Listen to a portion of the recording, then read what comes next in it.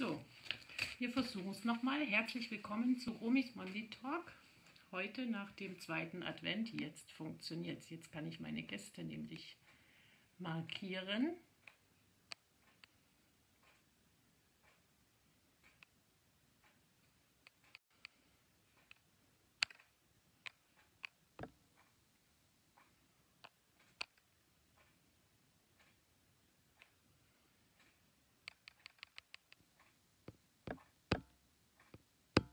Ich bin gleich bei euch. So, jetzt funktioniert's. Hallo. Liebe Eva, würdest du dich bitte noch mal einwählen?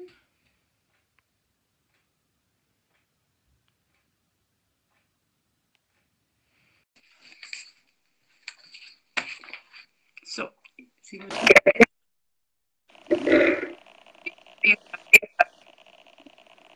Hallo. Entschuldige kurze Verzögerung. Ich hatte ein kleines technisches Problem hier bei mir am iPad. Alles gut. Also ich freue mich, dich heute begrüßen zu dürfen ähm, und an euch, die zuschauen, einen Hinweis. Wenn ihr technische Probleme seht vom Ton und vom Bild, dann schreibt das bitte in die Kommentare. Und ihr könnt natürlich der Eva auch Fragen stellen. Wir werden sie dann versuchen, zwischendrin einzubauen, so ihr denn welche habt, was mich sehr freuen würde. Und ich würde damit beginnen, dass ich dich vorstelle, liebe Eva. Und dann steigen wir ins Gespräch ein. Sehr gerne. Also ich habe für dich die Headline gewählt, was ich über deinem Leben, über deiner Geschichte sehe. Wenn du deine Berufung zum Beruf machst, dann arbeitest du nicht, dann lebst du. Sie ist eine warmherzige, ambitionierte und starke Frau, welche ihre Berufung zum Beruf gemacht hat und mit ihrer Geschichte Vorbild für viele junge Menschen ist. Sie hat erfolgreich eine Ausbildung zur Winzerin gemacht und vertiefte ihr erlerntes Wissen unter anderem in, in einem Auslandspraktikum in Neuseeland. Aber sie hat einen Traum, ein Ziel vor Augen und baute das Erlernte weiter aus, indem sie ihre Techniker und Wirtschafter für Wein und Önologie erfolgreich abschloss. 22 Jahren arbeitet sie erfolgreich am elterlichen Weingut Müller in Wöllstein im schönen Rheinhessen. Ihr Ziel? Den Familienbetrieb der nächsten Generation weiterführen. Tradition und ihre Familie sind zwei der wichtigsten Pfeiler im Leben von Eva. Eine junge Frau, deren Lebensgeschichte mich vom ersten Moment an begeistert hat. Und lebt ihre, Beruf, ihre Berufung jeden einzelnen Tag. Liebe Eva, was war deine Intention für dich, diesen Beruf zu ergreifen, der Winzerin? Ja, ich sag mal so, ich kann es ja nicht anders. Ich bin ja damit groß geworden im Betrieb. Und als ich dann den Wunsch meinen Eltern geäußert habe, dass ich gerne Winzerin lernen würde, war meine Mama war zuerst ein bisschen geschockt, weil sie gesagt hat, du bist nach dem Realschulabschluss gerade mal 16, das ist ein sehr männlicher Beruf.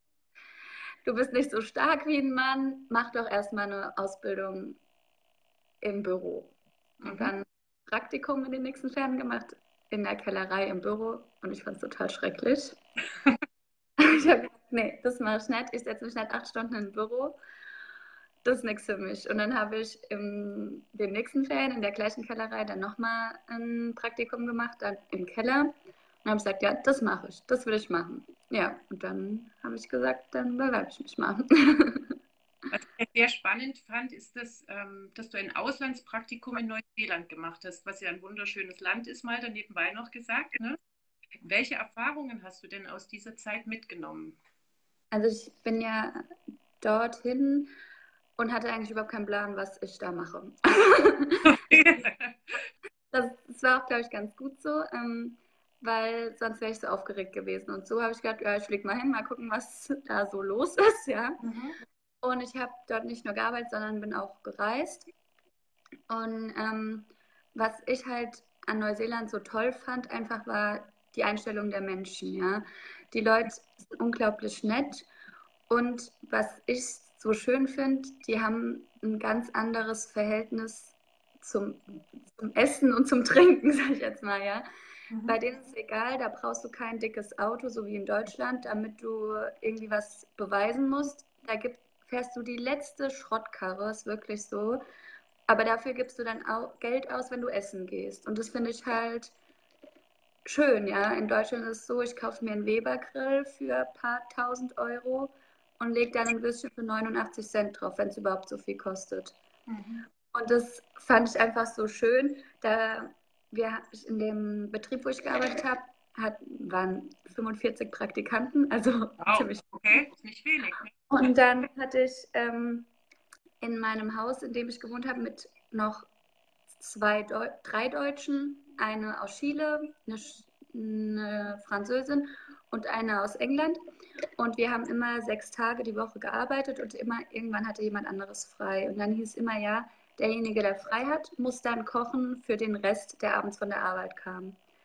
Und dann war, hat die Chilenin mal für uns Empanadas gemacht. Das war so geil.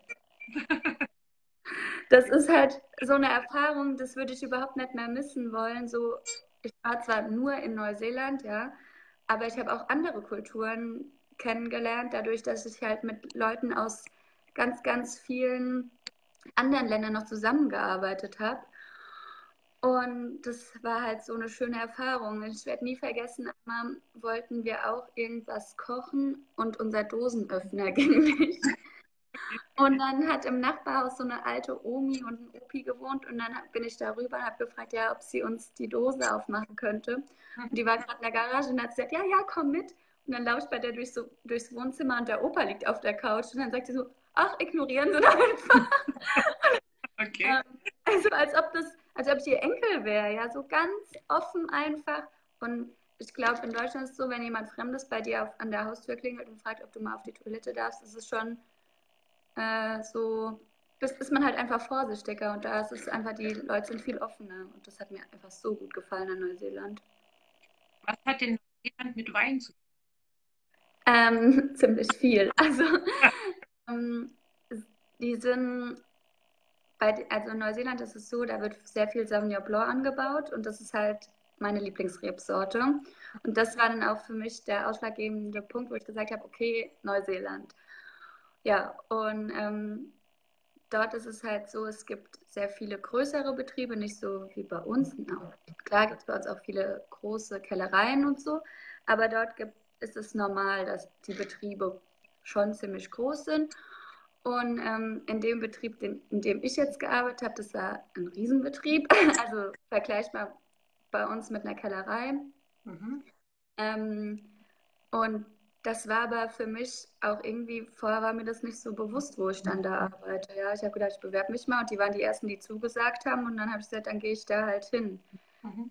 Und ähm, bei uns ist es so, in Wölstein, wir haben 120 Hektar Rebfläche und in dem Betrieb, an dem ich gearbeitet habe, die hatten allein 1000 Hektar an einem Stück wow. Weinberge. Wow. Und dann, dann kam ich hin und dachte so, oh. ja, das war halt schon eine Erfahrung wert.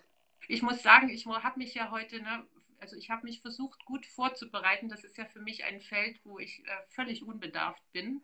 Also ich habe mich heute auch mit, äh, mit äh, Barrikfässern und was weiß ich was zu Wein dazugehört, damit ich, äh, wie soll ich sagen, auch äh, vorbereitet bin. Ähm, also falls ich was sage, ne, was äh, total lächerlich ist und nicht das irgendwie, ne, dann sag mir das bitte. ich lerne gerne. Und ähm, wie soll ich sagen, du hast ja ähm, deinen Techniker und Wirtschafter für Weinbau und Önologie, also dein Wissen damit ausgebaut. Ähm, kann man das vergleichen äh, mit einer Ausbildung zum, zum Meister? Also in vielen Handwerksberufen gibt es ja den Meister. Kann man das äh, vergleichen? also ähm, man kann auch den Winzermeister noch machen. Das ist aber ähm, keine Vollzeitschule. Mhm. Und der Wirtschafter und der Techniker sind halt je ein Jahr Vollzeitschule. Und ähm, ich würde sagen, das ist sogar noch ein bisschen intensiver als der Meister.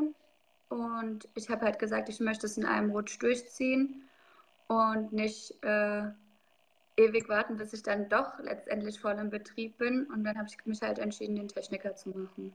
Was heißt ja. Technologie? Erklär es mal einfach. Wirtschaft. Ich glaube, damit kann also das, was im Keller passiert, einfach. Die Weinbereitung. Okay. Denn, also jetzt mal abgesehen natürlich von deinen Eltern, wer ist der Mentor für das oder gibt es ein Vorbild? Ähm, also ähm, ich habe ja eine klassische Berufsausbildung gemacht von drei Jahren und in der Landwirtschaft ist es normal, dass man jedes Lehrjahr den Betrieb wechseln kann. Mhm. Habe ich dann auch gemacht und das erste Jahr war ich im Weingut Pause in Flohnheim und ähm, ja, ich würde sagen, die haben mich am meisten geprägt, weil dort war ich wie Familienmitglied. Der Betrieb war ähnlich von der Struktur wie unser Betrieb.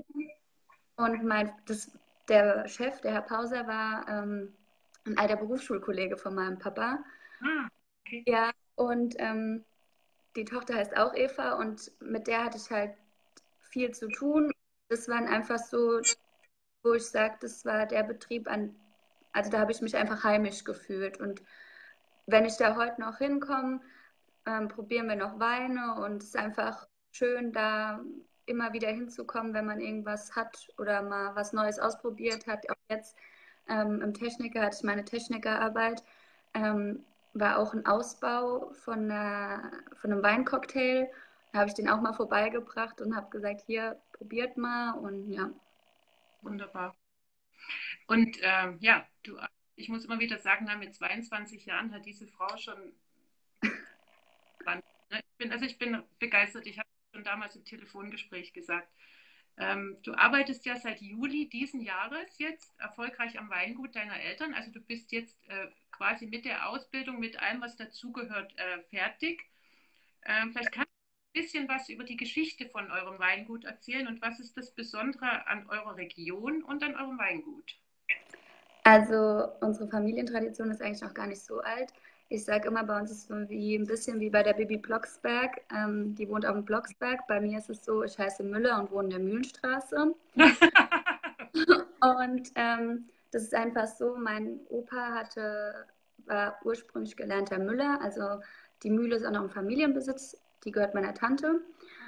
Und ähm, es war wohl schon immer Weinberge im Familienbesitz. Aber das war nie das Haupteinkommen. Und eigentlich war die Mühle der Betrieb, wovon gelebt worden ist, aber dann wurde das halt immer schlechter und dann war noch Vieh im Betrieb und halt Landwirtschaft. Und als es dann mein Papa so weit war, dass er den Betrieb übernehmen sollte, hat er gesagt, das mit dem Vieh, das macht er nicht. Also ich äh, bin auch früher reiten gegangen und da hat er mir gesagt, also wenn du dir mal ein Pferd kaufst, ich nehme nie wieder eine Mistgabel in die Hand. und ähm, deswegen dann hatten, der Papa dann angefangen, also hat dann Winzer gelernt und hat dann den Weinbau weitergeführt und auch den Ackerbau. Mhm. Und wir haben vor 15 Jahren ein Gästehaus gebaut und dann haben wir noch ein Jahr den Ackerbau mitgemacht, aber dann hat mein Vater gesagt, nee, das geht nicht, das ist zu viel auf einmal. Und dann haben wir ähm, mit Ackerbau aufgehört und machen jetzt nur noch Weinbau und halt das Gästehaus. Und ja, jetzt, ähm, also ich bin auch ganz froh drum, weil ich bin kein Ackerbauer. Also ich sage immer, das ist so ein bisschen Männersache. Mhm. Ich war auch Traktor und so und habe dabei auch Spaß. Aber ich sehe mich jetzt nicht einen Tag auf dem Acker die ganze Zeit beim Traktor fahren. Das, äh, im Gasthaus, wenn ich da ganz kurz nochmal ähm, ähm, anknüpfen darf, ist das dann so ein Gesamtkonzept? Also bringt ihr den Leuten, die zu euch kommen, sind das Weinkenner oder sind das Urlauber, die einfach mal Urlaub im Rhein machen wollen? Ähm, also es ist unterschiedlich. Der, Haupt, der größte Teil sind eigentlich Stammkunden, die dieses Jahr da waren. Die haben auch gleich schon für nächstes Jahr gebucht. Mhm. Das ist eigentlich so das meiste. Ähm, wir haben in Rheinhessen sind wir dabei, die Touristik weiter anzukurbeln. Also das ist auch das Ziel von Rheinhessen-Wein, unserem Verband. Ähm, es wäre schön, wenn wir noch ein paar mehr Touristen hier hätten, dass man auch unter ein bisschen vermieten könnte. Wir haben hauptsächlich nur am Wochenende vermietet. Und wir haben das einfach damals gemacht, weil es ist so, die Leute wollen Wein trinken und probieren. Und danach sollen sie sich nicht ins Auto setzen. Und das war dann eigentlich der Grundgedanke, warum wir ähm, das Gästehaus gebaut haben. Ja. Also das gerne mal auf die Website schauen, ne? wenn ihr Urlaub machen wollt bei der Eva und ihrer Familie, dann könnt ihr da gerne, ich denke, wie, wie viele Zimmer habt ihr bei euch im Gästehaus? Fünf Zimmer, also fünf Doppelzimmer. Wow. Ist natürlich auch eine schöne Gegend. Ich war noch nicht in Rheinhessen, aber ich kann es mir vorstellen, die Bilder, die ich mir heute angeschaut habe, das ist eine sehr, sehr schöne Region. Ähm, Gibt es so eine Jahreszeit, wo es am besten ist, dann zu euch zu kommen? Also am schönsten ist natürlich im Herbst, weil dann die Weinlese ist und dann erlebt man auch was, dann riecht es überall nach Wein und äh, nach Ernte und es ist einfach schön. Ähm, aber im Sommer natürlich auch. Also ähm, auch im Frühjahr, wenn alles anfängt zu wachsen und dann ist auch eine schöne Zeit. Aber für mich, ich sage immer, ich bin Herbstkind, das ist die schönste Jahreszeit. Was macht dir an deinem Job besonders viel Freude, liebe Eva? Dass es so vielseitig ist, ja. Ich sitze eigentlich selten oder mache selten eine Woche jeden Tag das Gleiche. Also es kommt, ich glaube, das kommt eigentlich nie vor. Ich mache auch oft an einem Tag nie acht Stunden das Gleiche, dass es einfach so vielseitig ist. Ich habe Kundenkontakt. Wenn ich meine Ruhe hab, haben will, dann gehe ich in den Keller. Und dann sage ich immer, dann gehe ich zum Lachen in den Keller. ähm, oder ja, es ist halt alles möglich, sag ich jetzt mal, ja. Wie sieht denn so ein typischer Tag bei dir aus? Gibt es das überhaupt, einen typischen Tag? Nee, eigentlich nicht. Also es ist so, ähm, da wir ja ein typischer Familienbetrieb sind, das heißt, ich wohne äh, mit meinen Eltern unter einem Dach. Ähm, es ist so, wir frühstücken morgens gemeinsam, besprechen, was so passiert am Tag über. Dann ist es meistens so, ich gehe als erstes mal in unser Büro und gucke, ob Leute Wein bestellt haben und gucke, was so passiert ist über Nacht. Und dann je nachdem, was gerade für eine Jahreszeit ist und was zu tun ist, wird dann gemacht. Also im Moment ist es so, wir sind halt jetzt voll im Weihnachtsgeschäft. Wir fahren ähm, seit Ende Oktober jede Woche eine Weintour. Also wir fahren selbst Wein auch aus in ganz Deutschland. Jetzt mhm. fahre ich Mittwoch mit Papa hinter, nach Nürnberg und noch ein bisschen weiter. Und ja, da sind wir jetzt dabei, ähm, die Weine versandfertig zu machen. Wie viele verschiedene Weine produziert ihr denn so im Jahr? Wir haben über 30 Weine auf der Karte. Wow. Also Rot, Weiß, See, alles dabei, oder? Was das Herz begehrt. Also wir haben 50 Prozent Rotweinanteil im Anbau und 50 Prozent Weißwein, genau die Hälfte. Und ja. Du hast ja schon gesagt, dein, dein Lieblingswein, ne? Ähm, Was hast du denn? Hast du im Kühlschrank? Also ich frage jetzt mal, was, äh, ne, so ein bisschen aus dem Nähkästchen. Hast du in deinem Kühlschrank nur Weine aus dem elterlichen Weingut oder probierst du schon auch mal andere Weine aus? Also es ist tatsächlich so, ähm, ich habe von meinen Eltern zu meinem Wirtschaftsabschluss einen Weinkühlschrank geschenkt bekommen. Wow. Moment, ich kann ihn auch mal zeigen. Okay. Da ist ein Stück. Und es ist tatsächlich so, dass ich gerade mal geguckt habe, was ich für Weine im Kühlschrank habe, weil ich gedacht habe, ah, ich könnte ja mal eine Flasche von mir auf den Tisch stellen. Es mhm. war tatsächlich eine Flasche Wein von uns im Kühlschrank. okay. Das ist alles ähm, fremder Wein. also ich sage auch immer, das ist sehr wichtig, weil ähm, dass man einfach mal weiß, was sonst noch so auf der Welt gibt. Ja. Mhm. Das ist äh, Wein, den ich mir tatsächlich selbst gekauft habe oder geschenkt bekommen habe. Manchmal ist es auch so, dass man unter Winzerkollegen mal Wein tauscht. Mhm. Und ja, dann oft ist es so, wenn jetzt ähm, zum Beispiel an Silvester wird es auch wieder so sein, dass wir da ganz, ganz viele Weine probieren werden und das meiste wird eigentlich, also da sind noch mehr dabei, die Wein interessiert sind oder auch im Betrieb daheim haben. Da ist meistens so, da wird nichts auf den Tisch bestellt oder vielleicht mal eine Flasche oder so, aber oft ist es dann wirklich fremder Wein. Okay, jetzt habe ich mal eine Frage. Man sieht ja immer, ich bin, ich bin kein Weinkenner, ne? also ich oute mich sozusagen. Ist das, wenn man das so sieht, wie die Leute den Wein verkosten mit diesem übertriebenen... Muss man das machen? Ist das so oder wie funktioniert das? Wie schmeckt man oder wie probiert man einen guten Wein? Wie läuft das? Ja, also es gibt wirklich Leute, die es übertreiben, wo ich mir dann auch denke, nee, es muss jetzt nicht sein. Also man kann auch Wein leise probieren. Mhm. Beispiel einen bei uns in der Klasse, der hat auch mal so übertrieben probiert. Da haben wir uns immer schon alle angeguckt, so, was ist dein jetzt? ähm, klar, es macht Sinn, dass man beim Trinken mit, sag ich jetzt mal, ähm, damit einfach der Wein ein bisschen mehr an die Luft kommt und er seine Aromen ähm, weiter entfalten kann. Aber es ist jetzt nicht notwendig, dass man so macht, ja. Wie viele Weine kann man denn am Stück ähm, so probieren, dass man wirklich auch noch die Feinheiten rausschmeckt? Äh, ja, also wenn man den Wein wieder ausspuckt, dann natürlich mehr, weil anders wirkt er ja natürlich auch irgendwann und dann schmeckt man gar nichts mehr. Mhm. Äh, es kommt immer drauf an. Also wir haben von unserem Jungwinzerverein machen wir immer so eine Blindprobe, wo alle möglichen Weine von den Betrieben blind probieren. Mhm. Und dann sind das auch schon so 30, 40 Weine, die wir dann in einem Abend probieren. Das seid ihr dann schon ein bisschen blau, oder? Entschuldigung. Am Anfang wird auch immer noch schön gespuckt, ja, dass man denkt, man nimmt es ja dann vor, aber irgendwann schmeckt es ja dann doch und dann. Okay. Ja. Aber du bist ja auch, also ich habe heute lange nach dem Wort gesucht. Ich hoffe, ich habe das richtig ähm, ähm, auch, ähm, sagt man eigentlich Weinkreationen, so wie du das auch machst? Ist das das richtige Wort? Ja, kann man schon so sagen, ja. Dann lass uns doch mal über deine letzte Kreation sprechen, ähm, welche unter Kennern, wie ich heute gelesen habe, eine sehr gute Kritik erhalten hat, der Rosé Le Mans 2017. Wie müssen wir uns denn den Weg von der Idee zur Umsetzung eines neuen Jahrgangsweines vorstellen? Also bei dem war es jetzt ein bisschen speziell, weil ähm, ich muss sagen, ich trinke nicht gern Rosé. Mhm. Ich oft so süß und ich trinke aber nicht gern Rosé. Und dann war es 2017 so, im Herbst, dass ich zum Papa gesagt habe, oh, ich trinke nicht gern Rosé, ich würde mal gern Rosé machen, der mir schmeckt. Und er so, ja, dann mach. So, ja, toll. Mom, lese. Ich kann mir jetzt halt einfach mal sowas überlegen. Mhm. Ja, getan.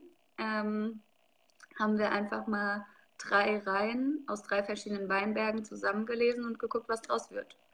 Und der Name kommt daher, wir waren früher in Rheinhessen französisch, war französische Besatzungszone. Mhm. Und deswegen sind bei uns ganz viele französische Begriffe noch hängen geblieben. Also zum Beispiel Trottoir, der Bordstein oder Portemonnaie für Geldbörse.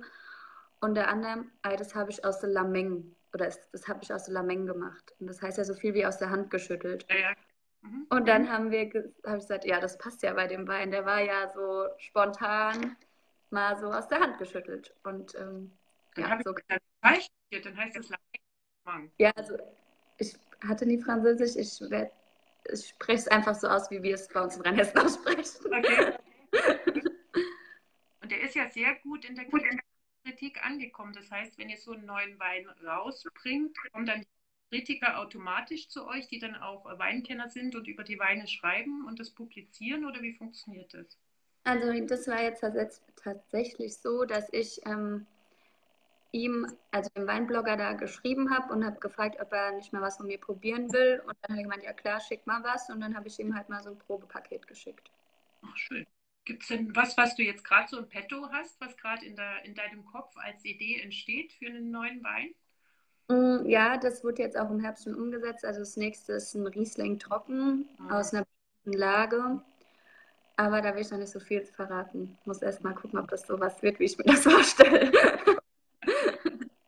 Ähm, worauf bist du denn besonders stolz rückblickend deiner Entscheidung, Entscheidung, Winzerin zu werden bis jetzt? Also ich sag mal so, ich könnte mir nicht vorstellen, irgendwas anderes zu machen. Und jeden Morgen, wenn ich stehe, bin ich froh, dass ich das machen kann, was ich mache.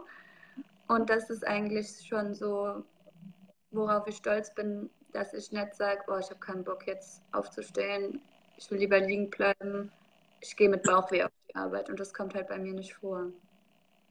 Das ist das, was du eingangs gesagt hast, habe, wenn man das liebt, was man tut, dann arbeitet man nicht, man lebt. Ne? Kann man ich sage sag auch immer, dass ähm, wenn man das, was man macht, gern macht, dann macht man es auch gut. Weil wenn man irgendwas nicht gern macht, klar, es gibt auch Arbeiten, die ich nicht mal so gerne mache, ja. Dann ist es auch so, das macht man dann einfach nicht gut und dann ist man hinterher enttäuscht von dem Ergebnis. Und so ist es halt auch beim Weinen. Ich mache es gern und dann sehe ich es auch ein morgens vielleicht mal im Herbst, wenn Lese ist und es brennt, dann sehe ich es halt auch ein morgens mal früher aufzustehen, weil ich das gerne mache. Und dann kommt hoffentlich auch was Gutes dabei raus. Du hast auch, ich habe heute mal so ein bisschen, na, ich darf das, wenn ich, weil ich den Talk führe, ich darf auch mal was. Ähm, ich habe ein bisschen auf deinem Profil mich mal umgeschaut und war relativ berührt von deinem äh, letzten Post, den du ähm, da gemacht hast. Ähm, also Sie ist wirklich eine ganz, ganz warmherzige junge Frau. Du hast ja eine Auszeichnung letztes Jahr gehabt, wenn ich das richtig gelesen habe. Wein, Weinkönigin oder was, was war das? Ähm, ja, ich war Weinkönigin von unserer Verbandsgemeinde. Also Mhm. Verband Holstein ist es. Und ähm, das ist so, dass sich, also wir waren zwei Mädels, die sich beworben haben, die Sophie und ich. Mhm. Und gibt es halt wirklich eine Wahl. Und ja, und dann wurde ich Königin und hatte ein wunderbares Jahr mit der Sophie. Also ich würde es nicht mehr missen wollen. Das war so eine tolle Erfahrung. Ja, wir haben über 70 Termine gehabt und die meisten zusammen. Und der Abschied ist uns dann beiden sehr, sehr schwer gefallen. Mhm. Und ähm, im Mai war dann unsere Abkrönung und uns war irgendwie schon zwei Monate mindestens vorher klar, wir werden heulen, ja. Aber dann haben wir angefangen mit unserer Rede und haben halt schon nach dem ersten Satz beide auf der Bühne gestanden und geweint und haben dann gedacht, okay, dass es so schlimm wird. Was ist denn dein großes Ziel oder was treibt dich an? Ja, Ziel ist es eigentlich, genau, das ist so ein bisschen, das habe ich in Neuseeland so ein bisschen für mich festgestellt, dass es für mich, dass die Leute merken, das, was vor Ort ist, ist doch schon super. Warum muss ich Sachen kaufen, die es in anderen Ländern gibt, wenn wir doch in Deutschland top eigene Produkte haben? Also dieses regionale Denken ist für mich so wichtig geworden. Das hätte ich nie gedacht. Also ich habe da früher einfach keine Gedanken gemacht. Und ähm, mein Ziel ist einfach, dass die Leute sagen, lieber zum Winzer vor Ort. Es muss jetzt nicht mal bei mir sein. Es gibt so viele Winzer, dass ich meinen Wein beim Winzer kaufe und nicht unbedingt beim Discounter. Und dass, ich, dass die Leute einfach merken, ja, es ist vielleicht schon besser, wenn es quasi handgemacht ist und dass man merkt, dass die Leute, die sich Mühe gemacht haben mit was, dass es dann, dass es einfach gewürdigt wird. Mhm. Und das ist so ein bisschen mein Ziel, den Leuten zu vermitteln. Ja, es ist doch schöner, äh, da hinzugehen und dir, sich einfach beraten zu lassen. Ja, ich, klar, es ist einfach im Internet zu bestellen, aber zum Beispiel, ich bin kein Handwerker und ich bin froh, wenn ich ins Bauhaus gehen kann und sagen kann, mein Papa schickt mich, ich brauche das und das. Jetzt sagen Sie mir mal, wo ich das bekomme, ja. Und das gibt es halt bei einem Discounter nicht oder nicht bei Amazon oder. Ja, es ist, glaube ich, auch das, äh, so ein bisschen das Zelebrieren, ja, gerade im Bereich ja doch was, äh, es ist ja doch was Besonderes, ja. Man kauft sich einen guten Tropfen, den man sich ja nicht jeden Tag kauft. Ähm, und ich glaube, es gibt ähm, sehr, sehr viele Weinliebhaber. Also ähm, mein Nachbar zum Beispiel ist ein Rotwein-Fan. Ne? Ähm, ich versuche natürlich, also ich, äh, ich trinke keinen Alkohol mehr, aber als ich noch Wein getrunken habe, war mein Favorit der Lugana.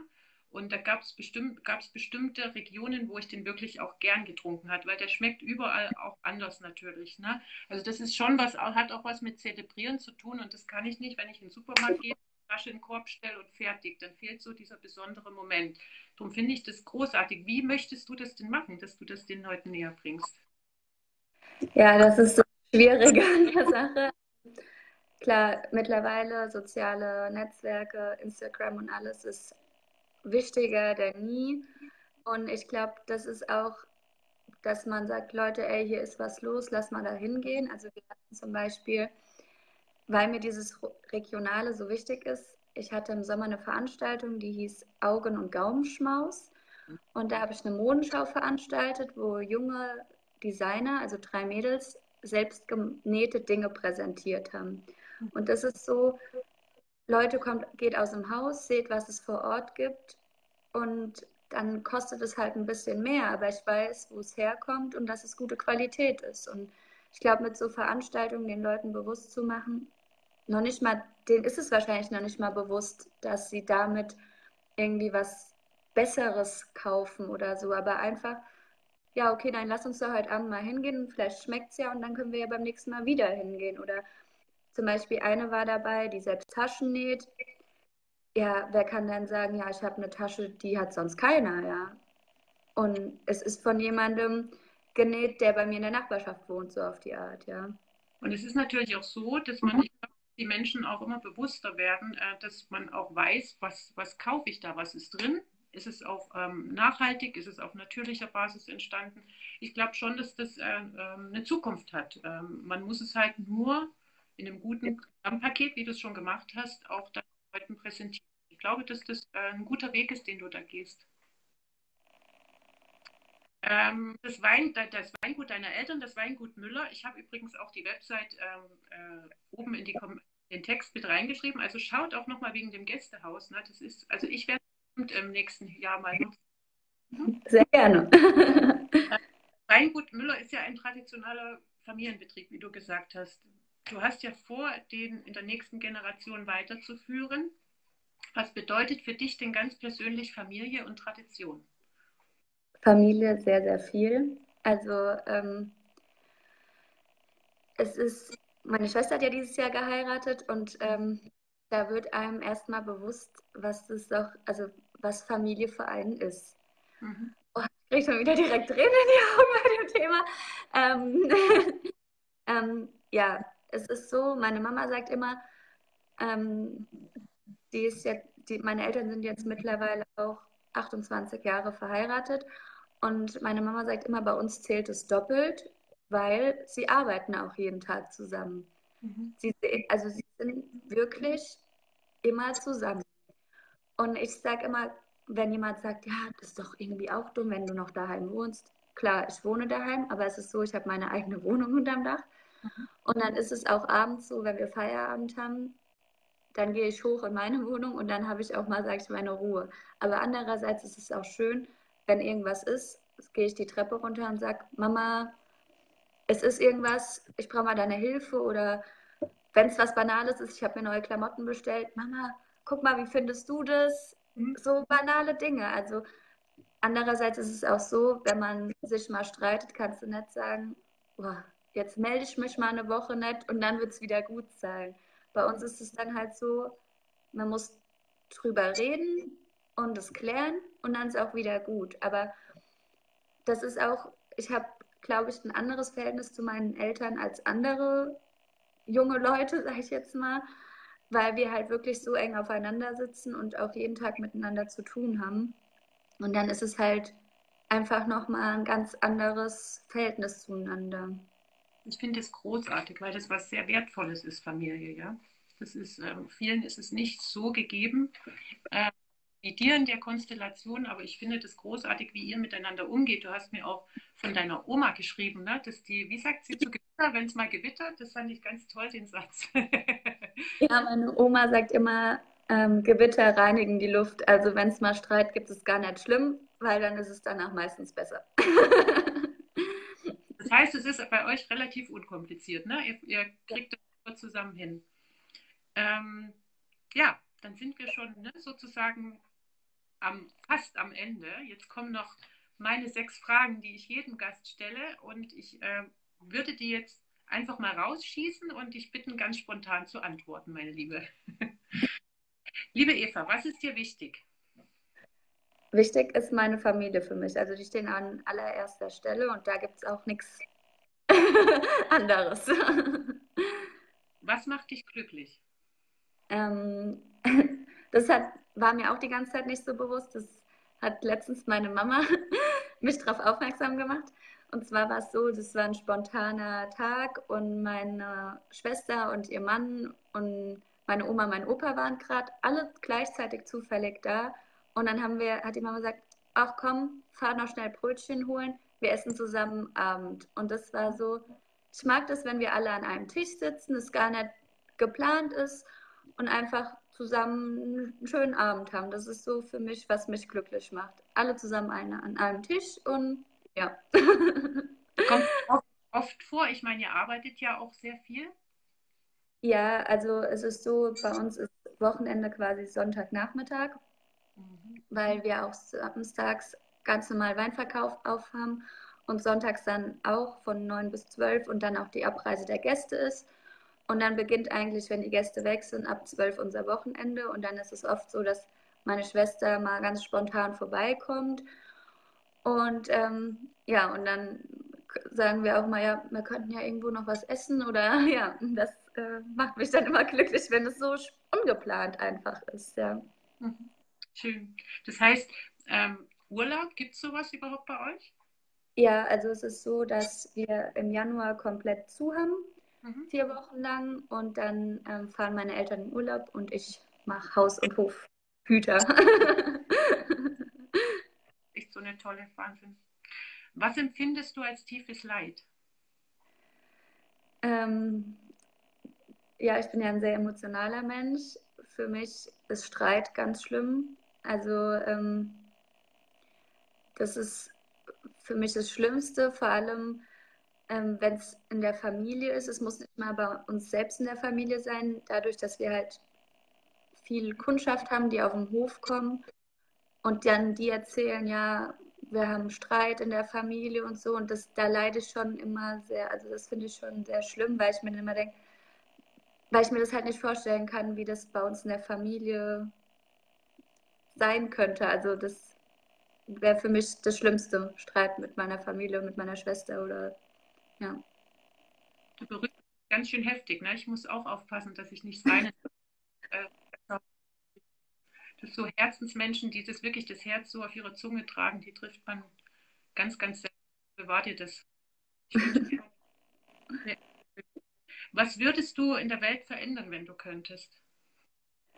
Dass die Menschen einfach weniger an sich denken, ein bisschen mehr an alle anderen und äh, mal sehen, wie schön es eigentlich vor der Haustür ist. Ja? Dass man nicht immer, ähm, klar, Neuseeland war wunderschön, aber als ich nach Hause gekommen bin, habe ich gedacht, ja, muss es unbedingt sein, dass ich ans andere Ende der Welt fliege? Es ist auch wunderschön bei mir daheim.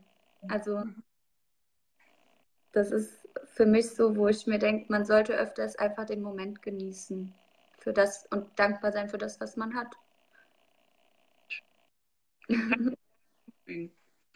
Jetzt hast du nur ein Wort, liebe Eva. Wähle ein Wort, das dich beschreibt. Ja, ähm, das ist sehr schwierig. Hm, sagen wir mal so vielseitig. okay. Beschrei beschreib mal vielseitig. Wie würdest du das um, ähm, auf dich jetzt umsetzen, vielseitig? Ich habe eine Freundin gehabt, die, äh, oder habe sie immer noch, und ähm, sie war auch mal Weinmajestät. Mhm. Die hat, sagt immer, Winzerin ist morgens Gummistiefel und abends High Heels. okay. Ich finde diesen Spruch so passend, weil es ist so, morgens stehst du mit der Gummistiefel im Weinkeller und abends hast du eine Weinprobe und kannst da nicht ankommen wie der Bauer. Und ich glaube, das trifft auch ziemlich auf mich zu, dass ich sehr wandlungsfähig bin in dem, also gerade bei sowas, ja, dass ich nicht immer der Bauer bin, sondern auch mal gerne ein schickes Kleid anziehe und äh, eine Weinprobe halte oder so, ja. Mhm.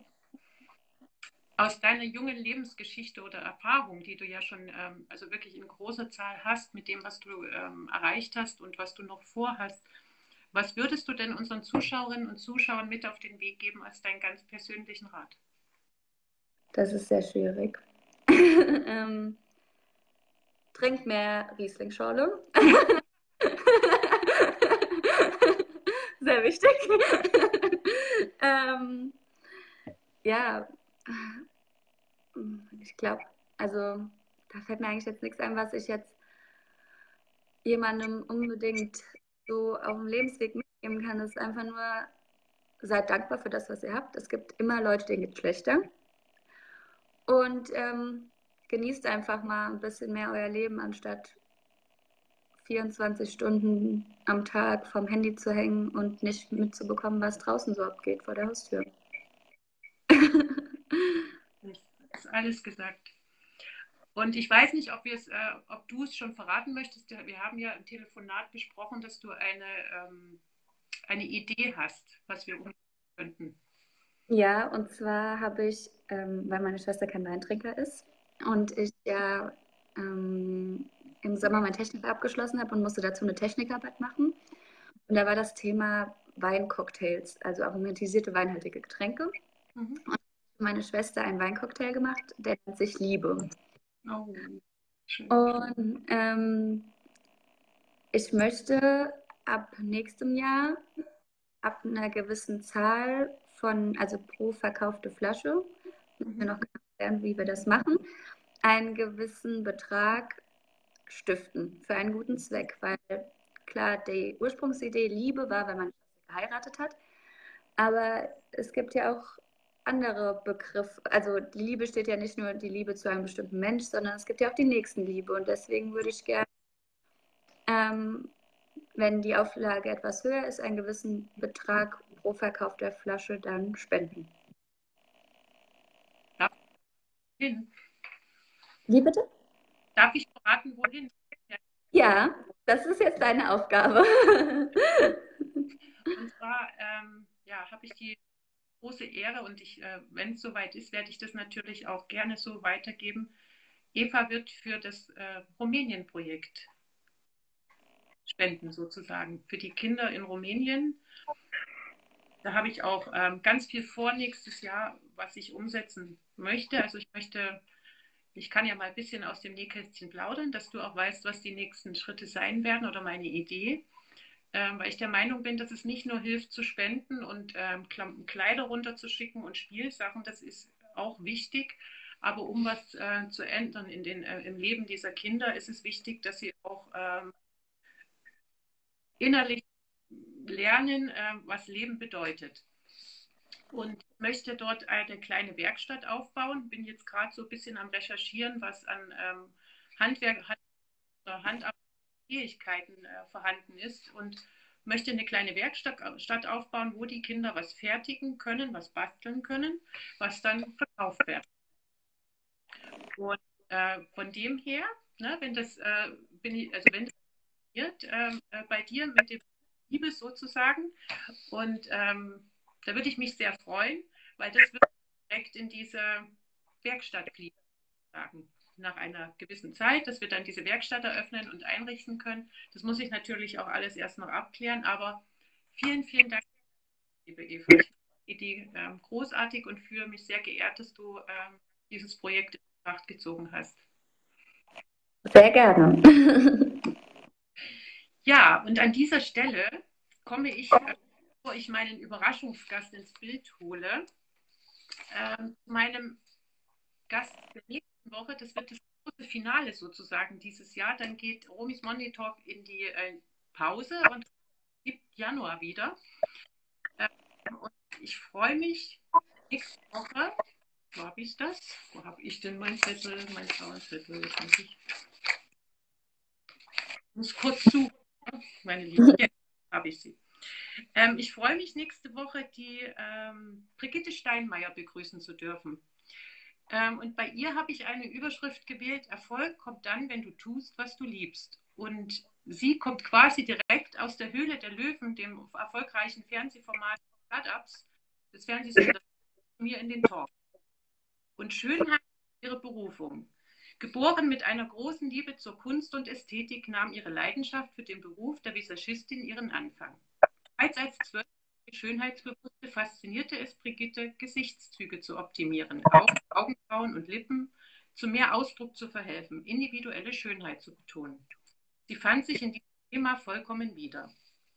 Ihre Vision war bereits damals, das zeitintensive tägliche Schminkritual zu verkürzen und perfekte Schminkergebnisse als solche schon kleine Kunstwerke dauerhaft festzuhalten. Bei aller Liebe zur Ästhetik kam ihr Pragmatismus durch. Dass dies später eine Berufung sein wird, permanent Make-up-Bereich Innovationen zu lancieren, war damals schon ihr Traum. Ihr Weg zur Realisierung dieses Traums beinhaltete einige Stationen. Ausbildungen zur Friseurin, zur Kosmetikerin, Heilpraktikerin, Heilpraktikerin und permanent Make-up-Artistin seit 28 Jahren dient ihr als handwerkliche Basis und zum Erfahren aller nötigen Kompetenzen. Ihre Ausbildungen zur Marketingmanagerin und zum Personal Business Coach ihr seit 2014 die Vermarktung ihrer eigenen Entwicklung der Diamond Blading Methode weltweit. Steinmeier und ihr Team sind Experten im Bereich Permanent Make-up und der neuen Diamond Blading Technik. Brigittes Diamond Blading Methode wird bereits in 18 Ländern eingesetzt.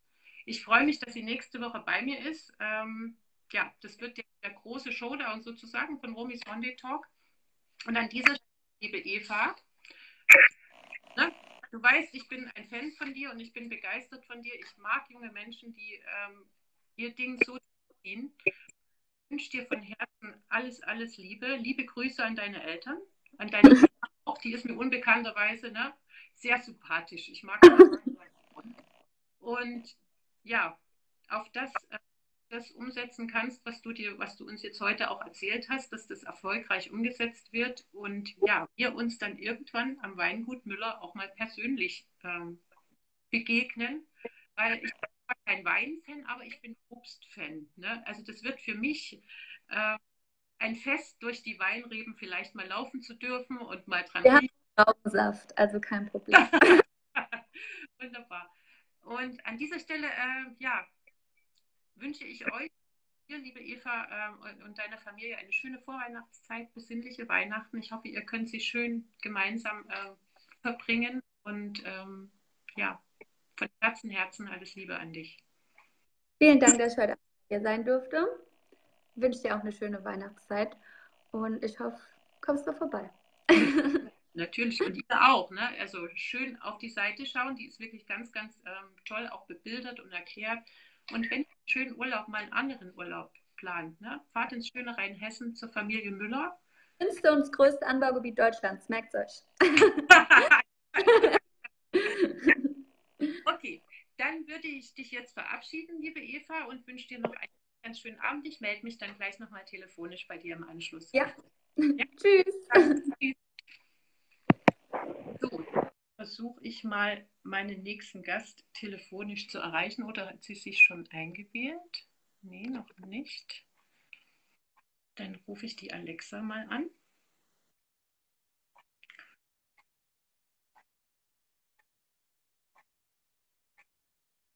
Geht gleich weiter. Dranbleiben, meine Lieben.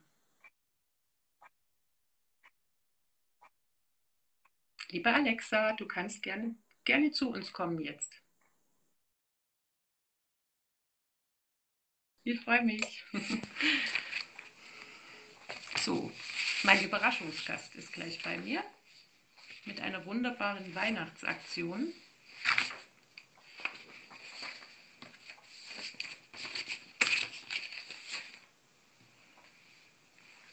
Schön dranbleiben.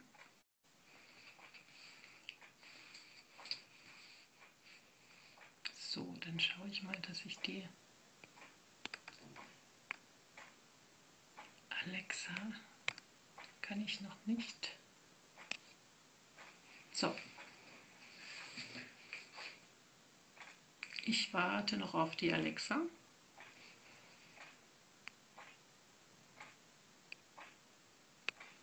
So.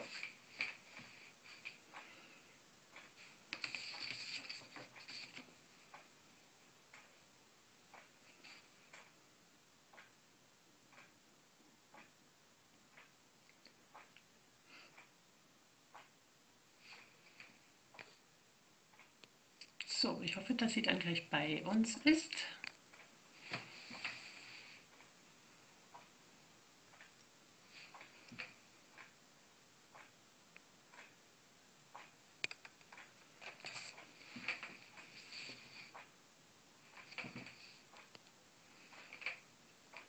Ihr könnt natürlich auch einem, einem Überraschungsgast dann Fragen stellen. Jetzt rufe ich sie nochmal an. Ja, wo bist du? Ich sehe dich noch nicht.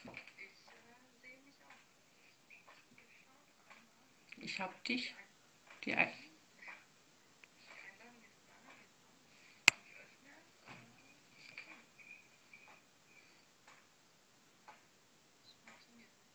das ist jetzt nicht wahr.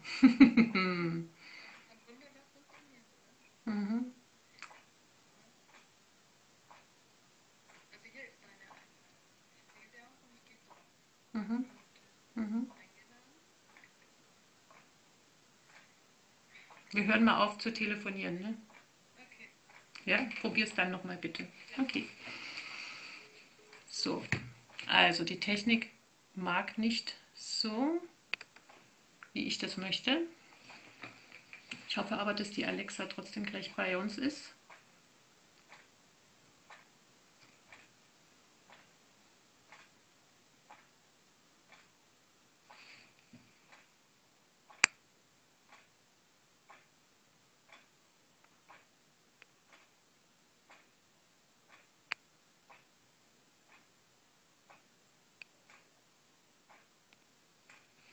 So. Countdown läuft. Jetzt hat funktioniert. Frauen und Technik.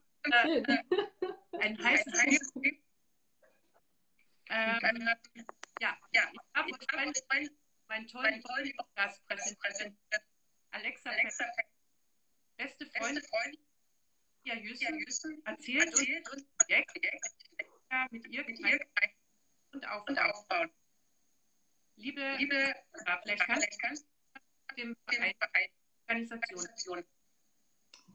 Okay, ich verstehe ich relativ schlecht, ein bisschen abgehackt, aber ähm, genau, es geht um den äh, Verein. Ja. Nochmal, nochmal reinkommen mit Nochmal neu in das Video kommen? Ja, bitte. Ja, bitte. Mhm.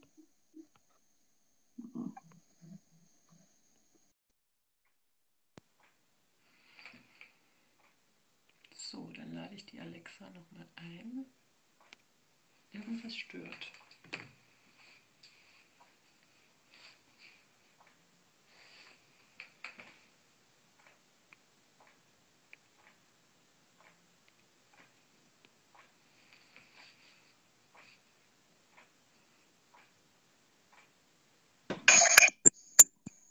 So, hörst du mich? Hörst du mich?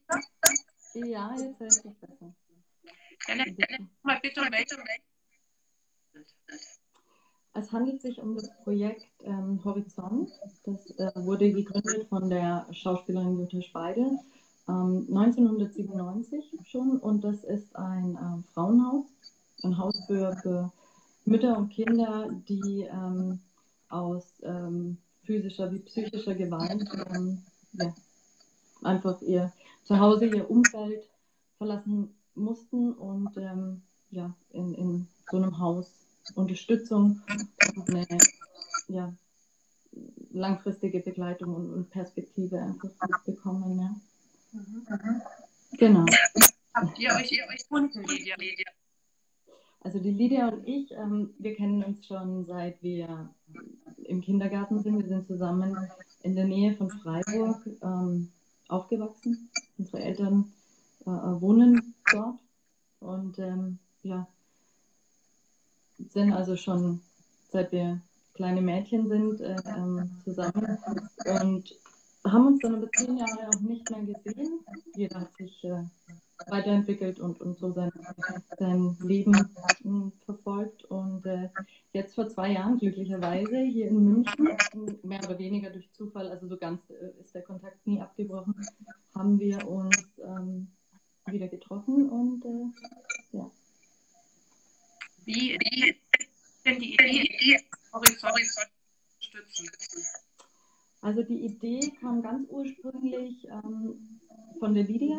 Also die ähm, Lydia ist festgebackene Mama und äh, hat äh, viele liebe Mamas hier äh, in München und die sind äh, eine große Gemeinschaft.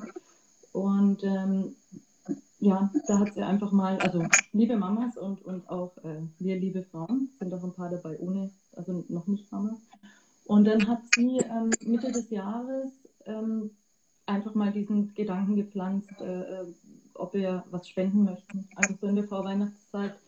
Ähm, ja, zuerst war, war der Gedanke, ähm, mehr für, für Kinder äh, was zu spenden. Ähm, eine Schuhkartonaktion oder die kleinen ähm, ähm, Kleider von den Kindern irgendwie ja, weiterzugeben. Und dann hat eine Mutter aus der Gruppe, die Lilian, ähm, dieses Frauenhaus und äh, den Verein Horizont mit ins Spiel gebracht. Und ähm, ja, sie ist da einfach drauf gekommen, weil eben gerade solche Vereine oftmals ja, nicht auf dem, auf, dem, auf dem Schirm sind und äh, ja, gerade auch Mütter, nicht nur die Kinder, sondern auch die Mütter, ähm, die ja einfach äh, sich lange, lange zurückstellen mussten und äh, ja, um stark für, für ihre Kinder äh, zu sein, denen einfach auch mal was Gutes zu tun und äh, ja, einen kleinen Wunsch zu erfüllen. Wie genau, genau sieht Wie müssen wir uns das das Projekt, also wir haben ähm, uns eben mit, den, mit ähm, dem Verein besprochen und äh, die kamen dann auf die Idee, dass man ja eine Wunschliste machen kann. Und jede Mutter ähm, durfte dann praktisch einen Wunsch ähm, äußern. Das sind äh, Gutscheine, Parfum, ähm, Bekleidung, einfach irgendwas, was einem gut tut und ähm, was ja einfach für, für einen selbst ist. Sind dann auf diesem Zettel gelandet, der kam zu uns und ähm, ja, wir, also jede, jede Frau, die mitmacht bei der Aktion, ähm, kauft oder erfüllt der Frau ähm, von, von, dem Frauenhaus einen Wunsch und ähm, wir übergeben das äh, nicht nur, dass wir das einfach ähm, dorthin bringen oder zuschicken, sondern wir haben uns überlegt, dass wir einfach ähm, zu diesem Geschenk auch noch ähm, ein Treffen veranstalten, eine, eine Möglichkeit, eine Plattform bieten, um miteinander ins Gespräch zu kommen, einen gemütlichen, ähm, entspannten Mittag zu verbringen und ähm, sich auszutauschen. Ich denke, das ähm, ja, hat den Mehrwert für, für beide Seiten. Genau. Eine, eine, eine, ja, gesprochen, großartige Aktion. Können wir euch, unterstützen, wer jetzt, jetzt braucht? Braucht ihr, braucht ihr also ja, Unterstützung auf jeden Fall. Ähm, man kann einmal direkt äh, bei, dem, bei dem Verein eben ähm, mitwirken, ob Sach oder, oder Geld spenden oder ja, am besten ist immer, wenn man äh, sich einfach kurz hingeht oder anruft, nachfragt, was, was sinnvoll und was gebraucht wird. Sowohl dann auch für die Kinder wie, wie für die Mütter. Ähm, da äh, besteht immer Bedarf. Und äh, für das Projekt, was wir jetzt eben ähm, starten, wollen oder starten, ähm, ja, wäre es eventuell oder wäre es schön, je nachdem, wie wir das aufbauen, ähm, nächstes Jahr oder das auch öfter im Jahr zu machen. Ähm, da sind natürlich auch Frauen herzlich willkommen, die ähm, ja, sich da auch engagieren möchten. Ähm, das heißt, das heißt Frauen, Frauen können möchte helfen, schreiben auf kann was weiß, Ich habe dich gerade wieder super schlecht verstanden. Funktioniert. Anschreiben? Ja, die ähm, Frauen, also wer, wer, eben mitmachen möchte, kann gerne der Lydia oder mir schreiben. Und äh, genau. Wir sind da selber ja, noch in der, in der Anfangsphase und, und lassen uns einfach mal ich denke, nach diesem ersten Treffen ähm, ein bisschen weiter inspirieren und, und schauen, wie wir das, wie wir das auch, ja. Ich bin, ich bin gespannt, erste Treffen sagen oder, oder erste, erste Treffen. Ähm, ich bin, ich arbeite ja groß. EV ist ähm, wichtig, wichtig, äh, dem, dem Bereich äh, Menschen, Menschen zu tun, denen es nicht gut ähm, in, dem, in dem Frauen und Kindern.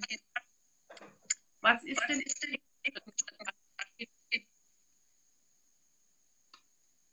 ich höre dich immer noch abgehackt, was im nächsten Schritt geplant ist. Ja. Ähm, das musst du mir noch mal ganz kurz. Äh, ja, was habt ihr gesagt? Habt ihr gesagt, wollt ihr als weiter, weiter, Projekt weit, wollt ihr weiter, weiter sieht das aus? Das aus? Ja, einfach dieses, ähm, ja, vielleicht äh, ähm, von, von so einer Wunschzettelaktion und dass man einmal ein Café miteinander äh, veranstaltet, eben vielleicht da doch auch mehrere Treffen draus macht oder irgendwie, ähm, ja, auch das nicht nur als eine, eine vorweihnachtliche Spendenaktion laufen lässt, sondern dass man sich längerfristig irgendwie einfach, einfach in Verbindung setzt. Ich meine, ähm, eben so lange wie die Lydia und ich uns jetzt kennen und auch generell was für, für eine, was einfach Gemeinschaft bedeutet oder auch Freundschaft und jemand zu haben, der für einen da ist, ähm, ist, glaube ich, auch der Gedanke, was, was, was uns Frauen, die bei dem Projekt äh, ähm, mitmachen möchten, ähm, verbindet. Ja. Das ist einfach eben, ob als Mutter oder da auch ein Stück weit, ja, vielleicht einfach ein Bewusstsein, einen Gedanken zu pflanzen, auch für die das spreche ich jetzt für die Mütter, für, für die Kinder dann äh, später auch. Und ähm, ja, einfach füreinander. Was gibt es gibt es als, als äh, nicht nur zu Weihnachten, nicht nur einen guten, guten Wenden, sondern, sondern Menschen, Menschen zu uns, denen es nicht gut geht, zu beschäftigen. Und deswegen, und deswegen eure Aktion großartig, großartig euch Lydia. Ich freue mich, euch, euch kennenzulernen lernen, ja. und die Aktion, Aktion mit zu unterstützen. Ich werde ich auch, werde auch Zeit von, von TV nochmal noch mal setzen, wo ihr, wo ihr direkt spendet. Und wenn und ihr, ihr ja, die, die, die aktuelle Aktion stützen wollt, wollt ich an. Ich habe Sie freut sich lesen, lesen und Unterstützung für die, für die zu erfahren. Liebe Grüße, Liebe Grüße.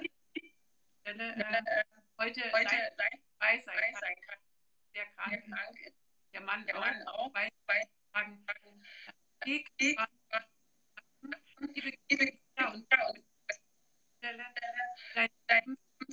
Und liebe Alex, ich freue mich sehr, sehr Zeit genommen, Abend und uns von und ich werde, aktiv unterstützen und nach, die Zeit auch nochmal noch mal den nächsten, nächsten Schritt wurden, dass wir den, ähm, mitteilen.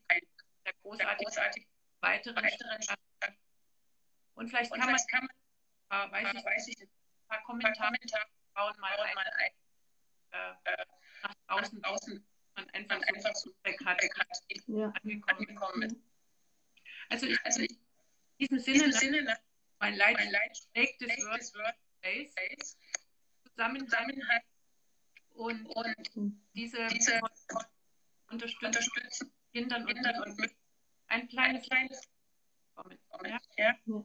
In diesem In Sinne, abends mich sehr und euch wünsche ich einen Abend und, ganz in diesem Sinne in eurer nächste Woche, Brigitte Stein. Ihr seid noch dabei. Aus und, ist eher wie, ja, ja, einen schönen, schönen Wochenende. Wochenende. Hat mich sehr gefreut. Schönen Abend. Bis bald. Bis bald. Ciao. Ciao.